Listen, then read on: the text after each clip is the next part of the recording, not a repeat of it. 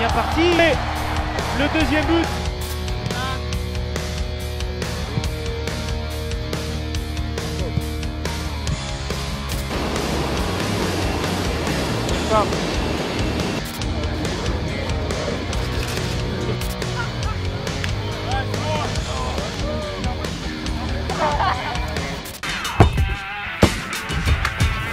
Eugene, voilà.